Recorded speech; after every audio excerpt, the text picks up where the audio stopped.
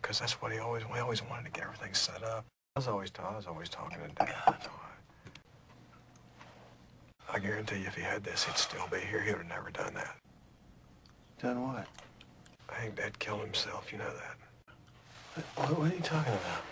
Dad killed himself. What are you talking about? I think Dad killed himself, you know that.